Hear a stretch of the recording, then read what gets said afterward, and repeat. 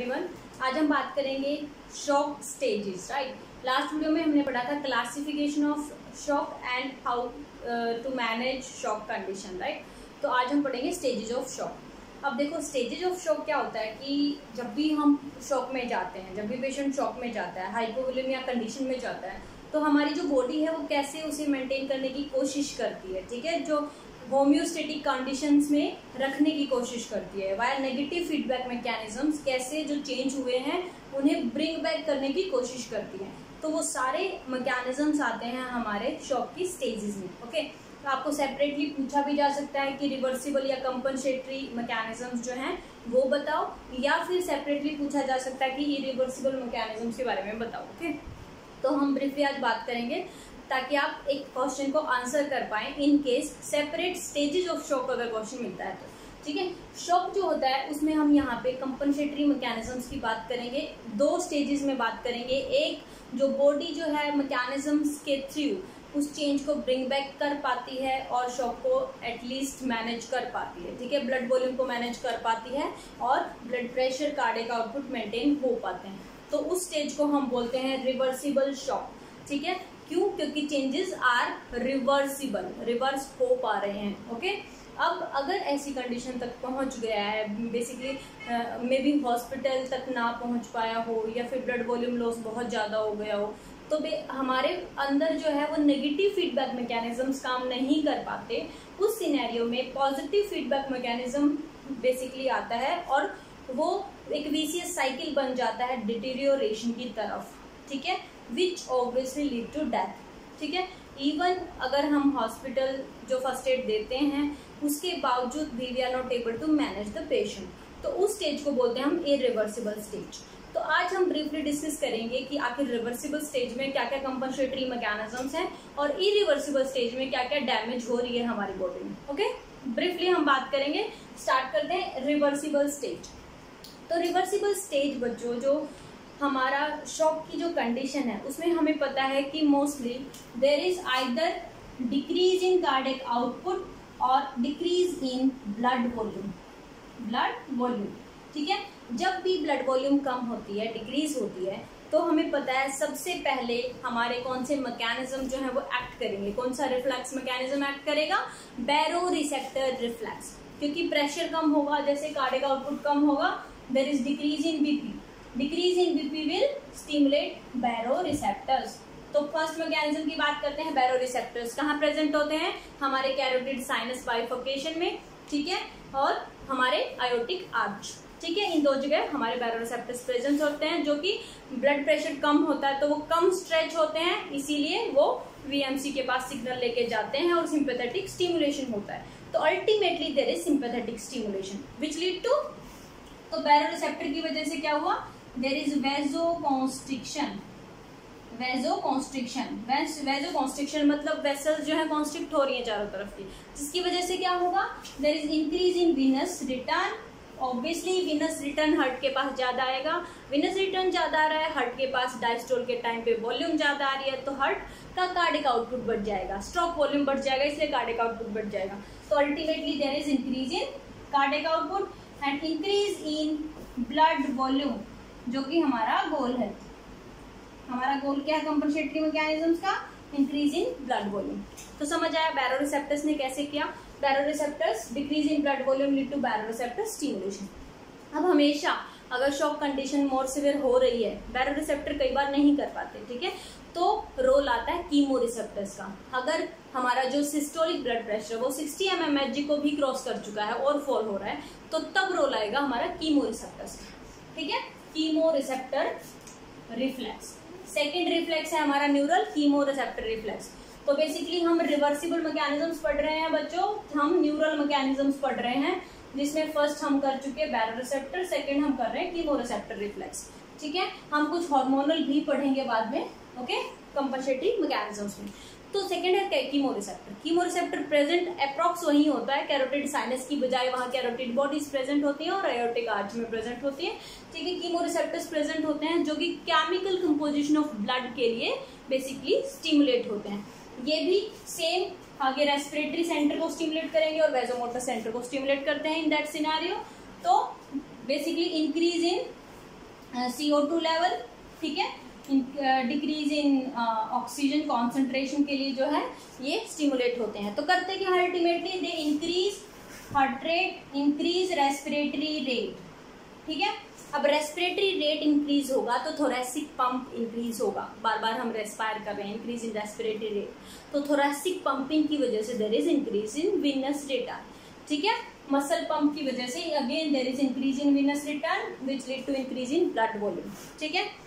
Basically oxygen को maintain करने की कोशिश की जा रही है और इंक्रीज इन हार्ट रेट की वजह से again there is maintenance of blood volume तो समझ आया सिंपैथेटिक कॉन्ट्रैक्शन ने, यहाँ भी सिंपैथेटिक नर्वस सिस्टम काम कर रहा है, यहाँ भी सिंपैथेटिक नर्वस सिस्टम काम कर रहा है। अगर फिर भी फिर भी ब्लड प्रेशर मैनेज नहीं हो पाता और ब्लड प्रेशर आपका पहुँच रहा है फिफ्टी या फिफ्टी से कम पहुँच रहा है, ठीक है? Fifty M M H G systolic okay one twenty by eighty होता है ना नॉर्मल वन ट्वेंटी सिस्टोलिक होता है। तो ये अगर फोर फिफ्टी क्रॉस कर चुका है फोर्टी तक पहुँच रहा है तो हमारा वेजोमोटर सेंटर जो है मेडुला में वेजोमोटर सेंटर जो है उसी के पास हाइपो उस आ, उसी में ऑक्सीजन नहीं पहुंचेगी। तो हाइपोक्सी कंडीशन में वेजोमोटर सेंटर होगा जिसकी वजह से there is one more reflex last ditch stand last ditch मतलब ये आखिरी डिच है last ditch stand last step है ये नहीं कर पा रहे कीमो रिसेप्टर और बैरोसेप्टर तो वीएमसी के अंदर कैपेसिटी है स्ट्रॉन्ग वेजोकॉन्स्ट्रिक्शन करने की। वीएमसी के पास जब ऑक्सीजन नहीं पहुंचेगी तो सिंपैथेटिक स्टिमुलेशन जो है वो इंटेंस होगा वेजोकॉन्स्ट्रिक्शन इंटेंस होगी। तो ये 250 फिफ्टी एम तक सडनली पहुँचा सकता है इस कैपेसिटी का होता है ठीक है? तो there is obviously vasoconstriction and hence there is increase in venous return increase in venous return leads to increase in blood volume तो समझ आया? ये जो तीन रिफ्लेक्स है, ये क्या कर रहे हैं? सिंपैथेटिक स्टिमुलेशन हो रहा है सब में। और सिंपैथेटिक स्टिमुलेशन से जो है वेजोकॉन्स्ट्रिक्शन हो रही है। वेजोकॉन्स्ट्रिक्शन की वजह से ब्लड वॉल्यूम इंक्रीज हो रही है। ठीक है? तो ये हो गया सिंपैथेटिक स्टिमुलेशन की वजह से इन्होंने मैनेज करने की कोशिश की है। न्यूरल मैकेनिज्म्स ठीक है? तो अगर नर्वस मैकेनिज्म की बात करेंगे तो हम ये तीन मैकेनिज्म की बात करेंगे।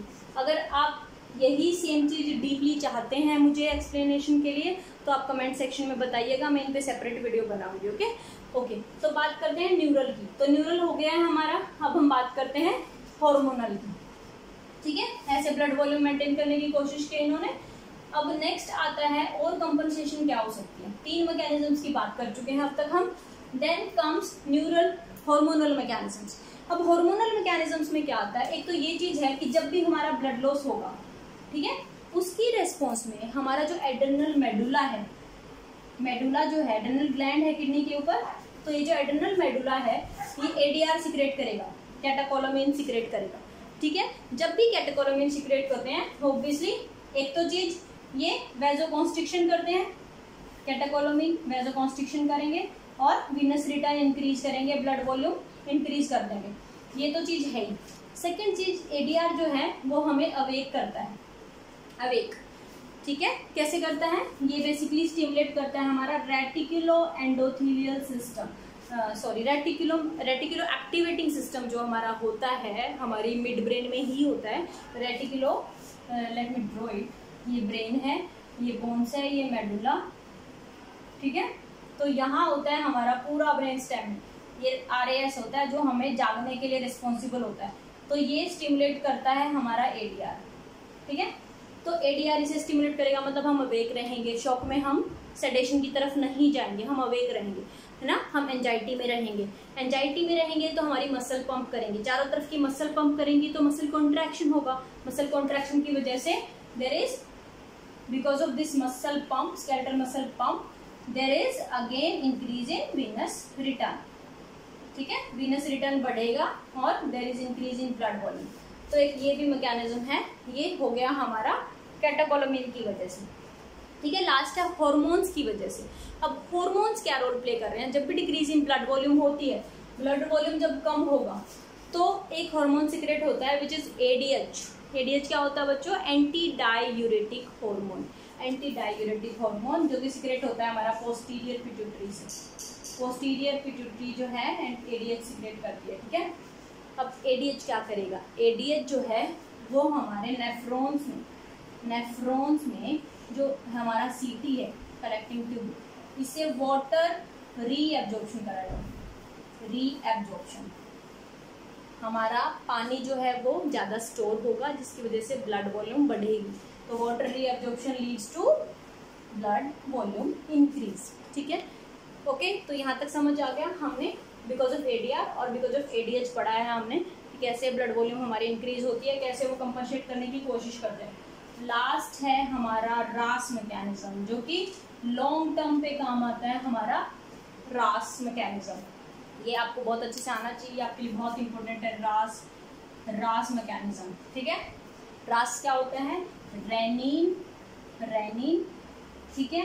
Angiotensin angiotensin aldosterone aldosterone system ये हो गया हमारा रास सिस्टम वो क्या होता है? अब देखो, जब भी ब्लड वॉल्यूम कम होगा, ठीक है बच्चों? ब्लड वॉल्यूम कम होगा तो किडनी तक भी ब्लड वॉल्यूम कम आ रहा है है ना? किडनी में जैसे ही ब्लड वॉल्यूम कम होगा और सिंपेथेटिक स्टिमुलेशन भी हो रहा है साथ में तो किडनी का वेजोकॉन्स्ट्रिक्शन भी हो रहा है। तो जब भी किडनी में ब्लड वॉल्यूम कम होगा there is decrease volume in kidney तो उसके रेस्पॉन्स में किडनी हमारा क्या सिक्रेट करेगी? रेनिन ठीक है?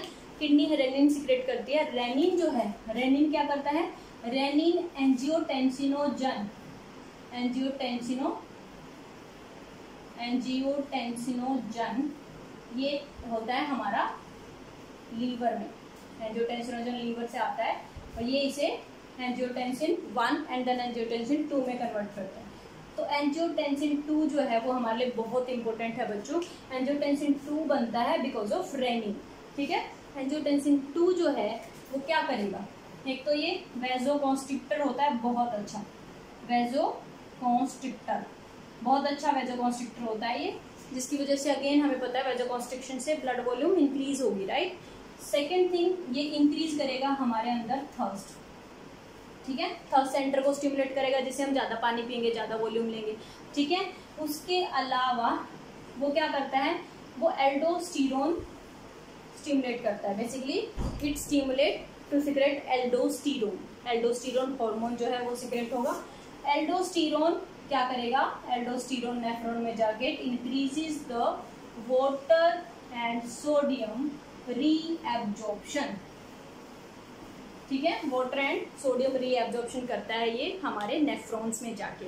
अब नेफ्रॉन में वाटर रीएब्जॉर्प्शन हो जाएगा मतलब इंक्रीज इन ब्लड वॉल्यूम ठीक है? तो this ultimately increases blood volume तो समझ आया बच्चों, ये है रास मैकेनिज्म अगर आप चाहते हैं सेपरेटली इसके ऊपर वीडियो बनाऊँ तो कमेंट सेक्शन में बताना। तो रास, रेनिन एंजियोटेंसिन एल्डोस्टेरोन सिस्टम जिसकी वजह से हमारा वाटर रीअब्जॉर्प्शन बढ़ता है सोडियम रीअब्जॉर्प्शन बढ़ता है, जिसकी वजह से ब्लड वॉल्यूम बढ़ता है। तो ये हो गया हमारा बेसिकली रिवर्सिबल मैकेनिज्म में रास सिस्टम ठीक है? एक लास्ट चीज़ रिवर्सिबल में है कैपेलरी शिफ्ट मैकेनिज्म वो क्या होता है? कैपेलरी शिफ्ट में और कुछ नहीं होता। आपको पता है हमारा ब्लड वॉल्यूम कम हो रखा है तो कैपेलरीज में भी वॉल्यूम कम है। कैपेलरीज में जब वॉल्यूम कम है कैपेलरी में अगर ज़्यादा वॉल्यूम होता है, अगर बाहर वॉल्यूम ज़्यादा है, बाहर हाइड्रोस्टेटिक प्रेशर ज़्यादा है, ठीक है? हाइड्रोस्टेटिक प्रेशर बाहर ज़्यादा है, यहाँ कम है, ठीक है? जिसकी वजह से हाइड्रोस्टेटिक प्रेशर जो है, ज़्यादा से कम की तरफ़ फ्लूड मूव होता है, जिसकी वजह से ब्लड वॉल्यूम इंक्रीज होती है। Increase in blood volume because of capillary shift mechanism इसे बोलते हैं कैपेलरी शिफ्ट बेसिकली अंदर जो है फ्लूड कब रहेगा?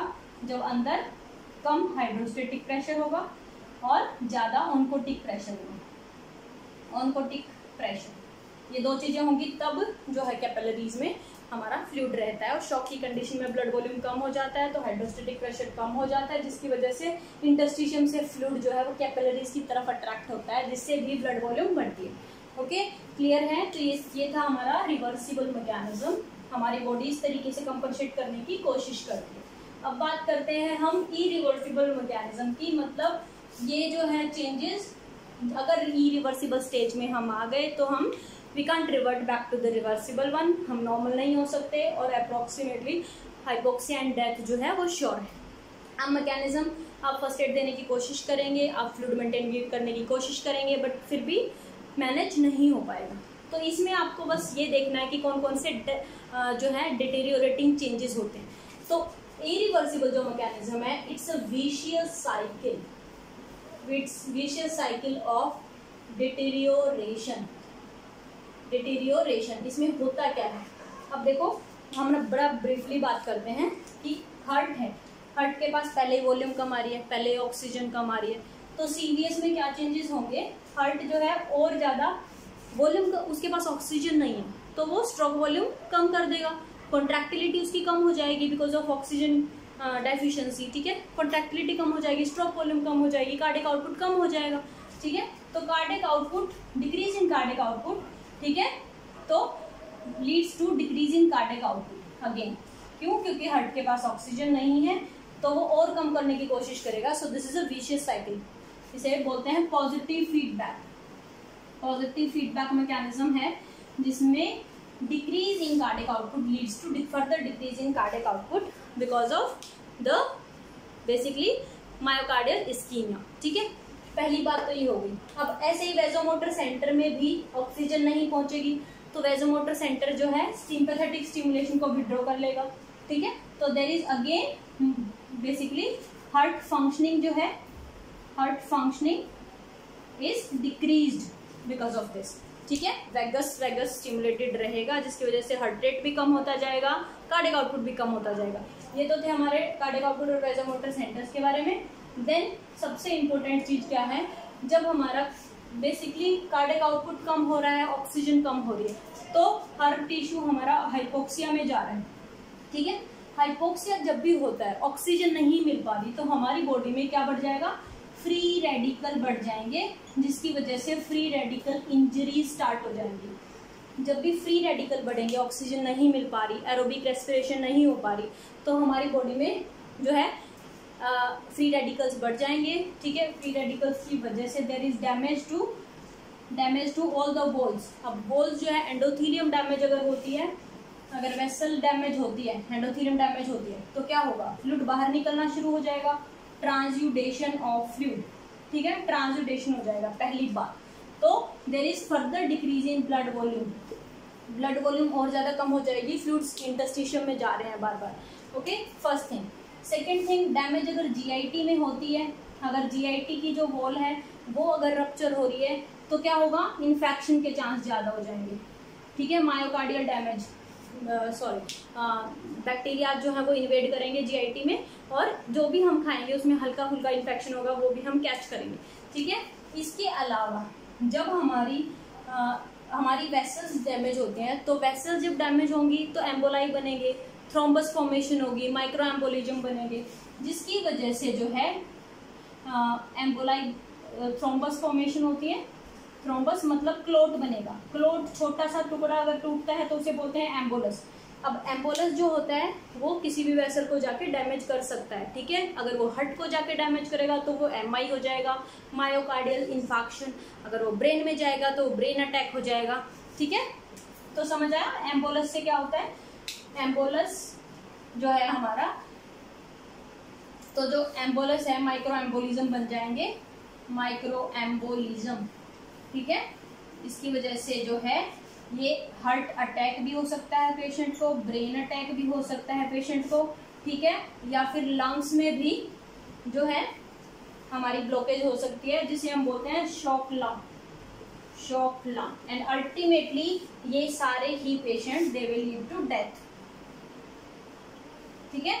तो ये है इरिवर्सिबल शॉक कंडीशन जिसमें आपको बताना है कि हाइपोक्सिया हो जाता है हर एरिया में ठीक है?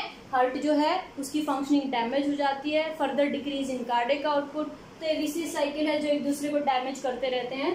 ठीक है? फ्री रेडिकल इंजरी स्टार्ट हो जाती है, जिसकी वजह से एंबुलेंस बनता है और कहीं भी जो है ब्लॉकेज हो सकती है डेथ हो सकती है। ठीक है? तो ये थे about irreversible damage in shock okay तो इस वीडियो में हमने बात की reversible and irreversible changes हमारी बॉडी में होते क्या क्या okay thank you so much